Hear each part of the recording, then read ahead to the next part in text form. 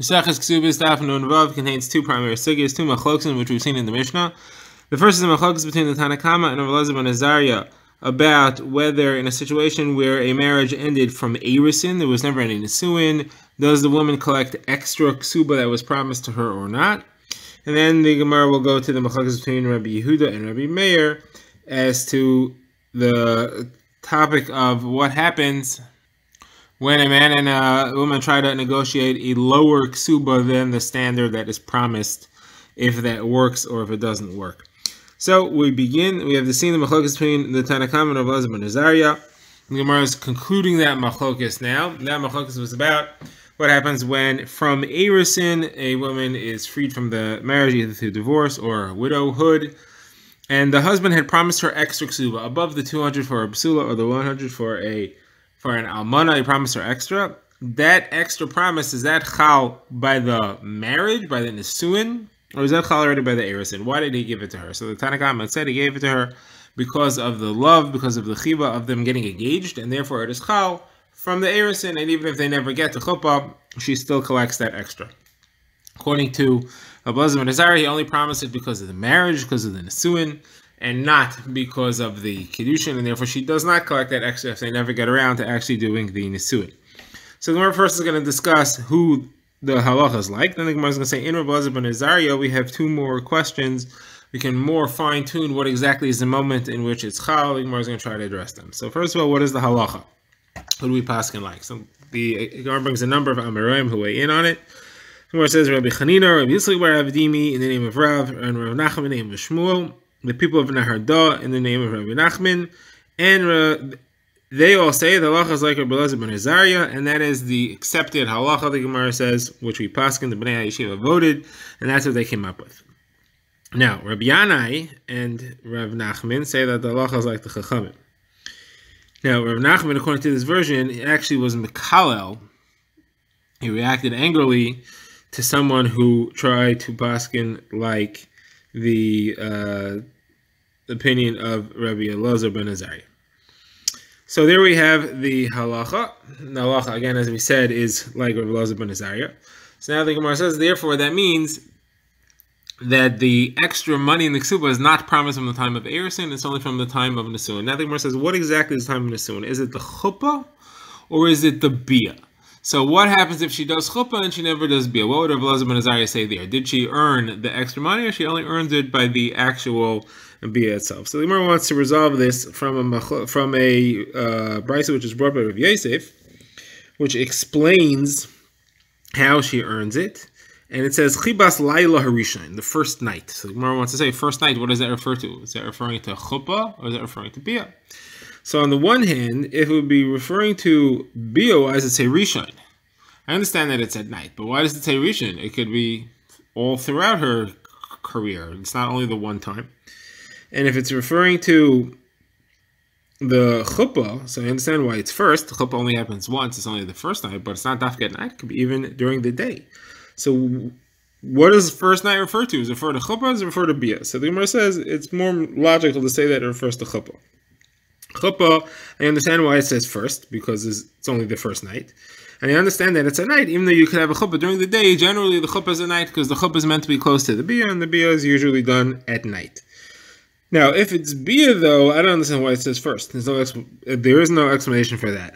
Why it says uh, night, I can understand, even though it's mutter to do bia during the day in a darkened room, but generally the way that the people are supposed to do the derech eretz is to do it at night, and therefore that's probably why it said night. So therefore, the Gemara, according to many Rishonim, is concluding that according to Rabbi Elazar ben Azariah, it's the chuppah and not the bia. So the Gemara asks, what happens?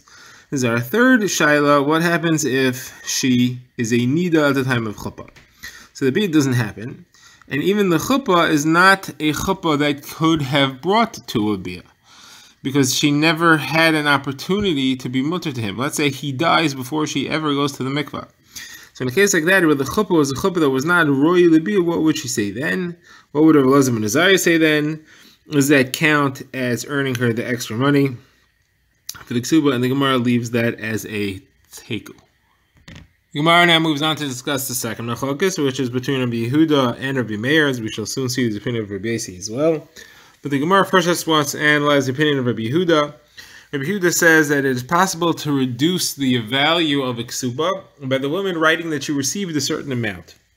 It is, ksuba, let's say for Absul is supposed to be 200, so if they want to cut it in half, she can write, I received 100. Even if she didn't really, she can write a special receipt, give it to the husband that says that I already that I already received half, in which case you can only collect the other half. So the first question is that seems to show that Rabbi holds that in the case where you have half a loan paid off or part of a loan, uh, part of an obligation, you write a receipt. Now this is a machlokes, and Rabbi Yehuda seems to say otherwise. Now the Gemara quotes a Mishnah that says if somebody pays off part of a loan that he owes, so as a machlok is what you should do. And there's a problem with either solution. You have to find a way to record the fact that he no longer owes the full amount. So the simplest solution would be to just write a receipt. The problem is if he writes a receipt and he gives it to the if if the receiver of the money writes a receipt and gives it to the person who paid it. So for example, if it was a loan, if the lender writes a receipt that he received a repayment of half and gives it to the borrower, the borrower now has to watch that receipt. If he loses the receipt, he loses his proof that he already paid half, and he'll end up having to pay the full amount. Now, it's not so easy to keep track of a receipt, especially because mice eat them. So that's one problematic approach. The other approach would be to say that you write a new shtar. The lender is holding on to the shtar, is holding on to the claim, the document of obligation, Let's say it said five hundred dollars. Now you write a new one for two fifty because half of it was paid off. That way, the lender doesn't have to hold on to a receipt. The borrower, the borrower doesn't have to hold on to a receipt. The lender, anyway, has to hold on to the document that says that he can collect. So he's to hold on to a different document. What's that avoids that problem. The problem with this solution is that now this new document is going to have a date from now, which means that any lands that were sold between the date of the original loan and the date of this loan are no longer mishubit because they were sold before the date on this document that he has here. So if the lender will then come to collect with this, he may lose out the ability to collect from certain lands that were sold previously. So what do you do? So the Gemara quotes this Mishnah that says over there, Rabbi Yehuda says you should write a new shtar. And Rabbi Yossi says you should write a receipt. So it seems to show that Rabbi Yehuda says that you don't want to make the borrower have to hold on to a receipt. So over here, how come you say that the husband can be forced to hold on to a receipt? So the Gemara offers two answers. Gemara's first answer is Rabbi Yirmiyah. He says that you don't have to hold on to a separate receipt here. It's going to go into the ksuba document. The way you write the ksuba is that it's a ksuba of 200, like the Torah says, but 100 of it was paid already. And therefore, there's no separate document that has to be held onto. The woman who's holding the ksuba says in there already that half of it was already received. Now, the that's Rabbi Yirmiyah's approach. Abaye has a different approach. Abaye says that you don't have it written um, into the receipt. The it's just here. There's a different halacha. This is a different case. This is a ksuba, and nothing was really paid. The woman's really just being mochel half of it. Shouldn't actually receive anything. So worst comes to worst, if the husband loses the receipt that says that he already paid half, which isn't true. So he'll end up having to pay the full amount. Fine, it's not like he paid, he's going to have to pay again. They negotiated a lower ksuba. The woman agreed to be mochel half, and now that Mechila is going to fall off, he's going to end up having to pay full. That's not the end of the world. In the case of the loan, if the guy paid half and you're not and you're going to write a receipt and he's going to lose it or be eaten by a mouse, you're going to have to pay again. That's terrible. You're making the guy pay twice for the same uh, thing. That can't fly. But here it's not such a big deal. Now, why doesn't each one want to say like the other's answer? So the Gemara says Abai didn't want to say like Rabbi answer because it does not say in the Mishnah that they write a, a receipt into the ksuba. It says seems to say that you write a separate receipt. Now, Rabbi Yeri didn't want to say like Abai's answer because he would say that you, you, shouldn't start making differentiations between what type of loan or what type of obligation. You should have a lo plug, you should have xera one onto the other, and uh, you should not allow any type of receipt in any circumstance. You shouldn't say this is okay, this one is not. The Gemara now gets more deeply into the Machlokes itself. The Gemara is going to show at the end that there are actually three opinions. We're going to analyze the three opinion one at a time. Our mission only had two opinions, but there are really three. What's the issue? The issue is, again, the man and the woman want to negotiate a lower ksuba. want to write that he owes her a lesser ksuba than the standard 200 zuz for a psula, 100 zuz for an almana. Are you allowed to do that? So the Gemara quotes Rabbi Meir says, no, you're not allowed to do that under any circumstances. If you do, it's a bias znus. The opinion of Rabbi Yehuda, the Gemara says, is that you could do that, but he cannot just say it's going to be a lower ksuba. She has to write a receipt, like we said before. You can't just make a tanai in the ksuba. Here's your ksuba, but I'm changing the rules against what the Torah said. You can't make a tanai against the, the Torah halacha, it's masa mashakasa b'Torah, even if they both agree, they can't violate the rules. Rabbi Yosi, the Gemara will show later, says you could, you could write whatever you want. The Torah said this is the halacha. If they want to both be meichlet, they could. So the Gemara first wants to analyze the opinion of uh, Rabbi Yehuda. The Gemara, as we said, said that Rabbi Yehuda says you could be meichlet, but only by writing a shtar. It has to be written into the shtar itself. That means that Rabbi Yehuda clearly holds that if you would just try to be uh, make a tanai, that it should be a lesser amount, you would not be able to make a tanai to reduce the amount. So the Gemara has a kasha because we show that Rabbi Yehuda holds that you could make a tanai to reduce the amount of a halacha. Where do you see that? So the Gemara quotes the uh, halachos of she'er, ksus, and ona. A man is obligated to give his wife those three things. Gemara has discussed earlier what they are. Simple as pshat, it's food, clothing, and marital uh, relationships. So if a man writes a kedushin, or he, he doesn't write, he is mekadesh anisha, and he says on a condition that I don't have to pay you, I don't have to do she'er, ksus, and ona. That means that he's making a tanai verbally against the Torah. So there you have machlekes what halacha is. Rabbi Meir says it doesn't work. You can't make a tanai against what the halach is. But Yehuda says it doesn't work on a halachic iser or heter or chiyuv. So it doesn't work on ona, which is his obligation to have marital relations. But it does work on monetary things. You're allowed to make a tanai against a monetary amount. You're allowed to be mochel money. So sharing sos, food and clothing, she's allowed to be mochel, and therefore the kedushin's chal, and he doesn't owe that to her. So you see again that Rabbi Yehuda says that on a monetary issue, you could make a tanai and be mochel against what the Torah says your obligations are. So why can he not lower the amount? Why can't you not agree to be a mochel the full amount? It should be able to over here.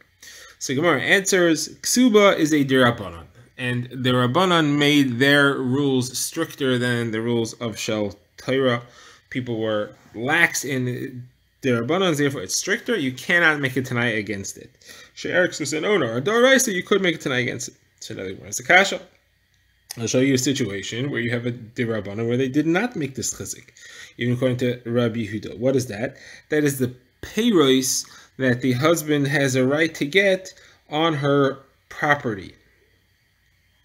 Now, if he wants to be mochel that, so there the halacha is that um, according to Rabbi Yehuda, it says in a braisa in a Mishnah that he has to write it, but Abai explains he doesn't have to actually write it. He just say a mechil that he's mochel that right.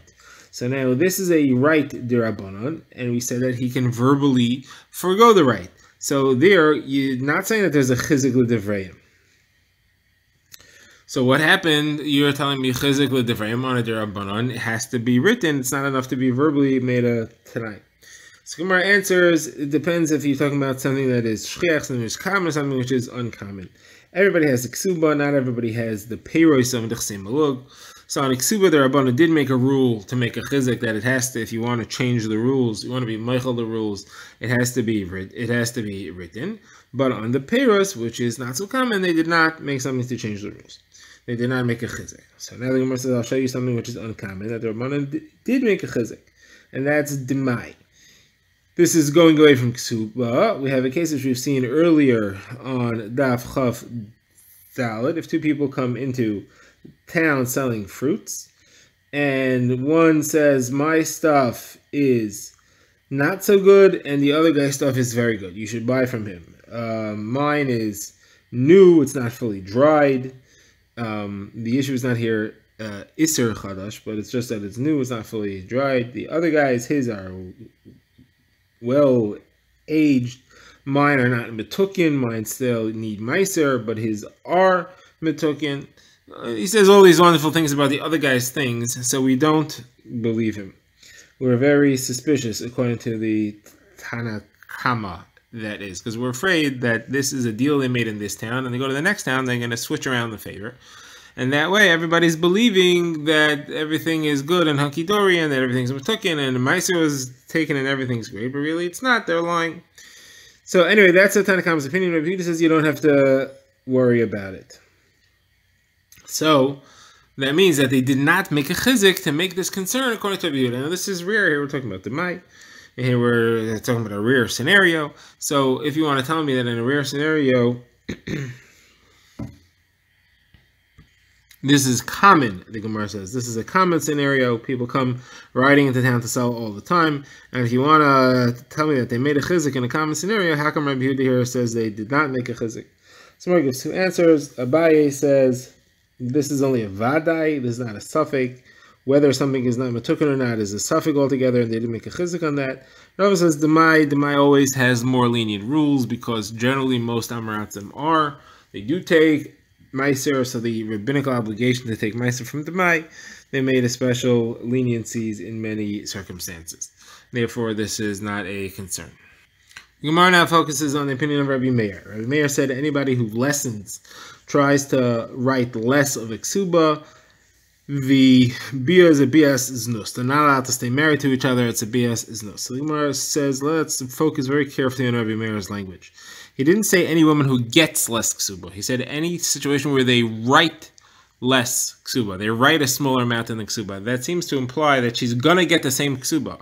Rabbi Meir doesn't say where she's getting less. Rabbi Meir says where they tried to make her get less, they wrote a smaller amount than the ksuba. That means that they won't get away with it. She will end up getting the right amount. And the Tanai is not going to work because it goes against what the Torah said. The reason, if she's getting the right amount, the, why is it a bias znos? It's a bias because she doesn't know she's getting the right amount. She has less of a smichas das. She doesn't rely on this. She doesn't rely. She doesn't fully give herself over, and it's not a real marriage, and it's a bias znos. But our problem is Rabbi Meir seems to therefore be holding that in a he wasn't allowed to make the tanai, and therefore it's no good. It's canceled, and she gets her full amount. So the problem is that we said ksub is a derabanan. And Rabbi Meir, we said, says that in the case where you're master on you make a tanai against what it says, what it says in the Torah by Sharksus and Aina, there it's batal. There doesn't work. That implies that iksuba derabanan, something which is only derabanan. If you make a tanai against what you're supposed to do, it would work. So how how come over here we're saying that she would get her full amount? It's a derabanan and should work. The tanai should work. She should get less. So ask is Rabbi Yehuda holds ksub is a deraisa, and therefore just like sherksus and ono, which is a deraisa, you try to make a tanai that is you that you're not going to give it. The tanai is batel, the marriage is chal. The tanai is batel. You can't change the rules. Here also in ksuba, you can't change the rules, so she's going to get her full ksuba, even though you try to make it less. But as the Gemara said, even though she's going to get her full ksuba, it's still a bias. It's nice because she doesn't have smichas das. Now the Gemara goes to the opinion of Rabbi Yossi. Rabbi Yossi said, you're allowed to do it. You're allowed to make a milva uh, tanai al peh. It works. You, he could just say, we're negotiating a different amount. Doesn't have to be written with a receipt and all that, and everything's fine. You're allowed to negotiate whatever you want. The Torah said 100 for an almana, 200 for a psula. It's fine. You could change it if you want, as long as everybody's in agreement. Asks the Gemara, we have a Mishnah that quotes that seems to say differently. It seems to say that you can't go against, you cannot make less of a ksuba. Where is that? So the Gemara shows the Mishnah. It has a Tanakama in her base. It seems to be saying the same thing. The Gemara has to explain it. What are they saying? So the Tanakhama says you cannot say that a woman's ksuba can be collected from a certain amount of metaltalin. You can't set aside movable objects and say her ksuba is going to come from here. And the reason is because something might happen to that. Might get destroyed, might go down in value. Now, Rabbi Yossi says, so the Tanakhama says, Mipnei Tikkun Olam. The Gemara says, Rabbi Yossi says, the Mishnah that is says, Rabbi Yossi says, it's not a Tikkun Olam because it could go down in value and it's no good. So they're both saying the same thing. They're both saying you can't do metaltalin. You cannot set aside that the ksuba has been collected from metaltalin because something could happen to it. So Moses says the difference is if the husband takes responsibility to replace it if it gets destroyed. According to the Tanakhama, the only concern is that it'll get destroyed. If the husband guarantees it, so there's no problem. According to Rebbe even if it's not going to get destroyed, you still have another concern, and that is it may go down in value, and therefore she could lose what she's supposed to collect. So that's the mission. But what we see from here is that Rabbi is saying that it's impossible to have a situation where she's going to get less value. So if she can't get less value by the property that was set aside for her to collect the ksuba from, where it's only a safek, where maybe it'll go down in value, but basically doesn't allow it over here, where it's clearly going to go down in value. So how is that all right? She's she's agreeing to less of a ksuba, so shouldn't be okay. So Gemara says that that's not a problem. Here she's mochel. She knows what she's doing. She's taking a calculated. She's it's worth it for her for whatever reason to be mochel and say I'm giving it up. Fine. But in case where you're setting aside certain metalton to pay, she doesn't understand. She doesn't realize it may go down in value. She's not being mochel, and therefore she's losing, and we want to protect her from loss.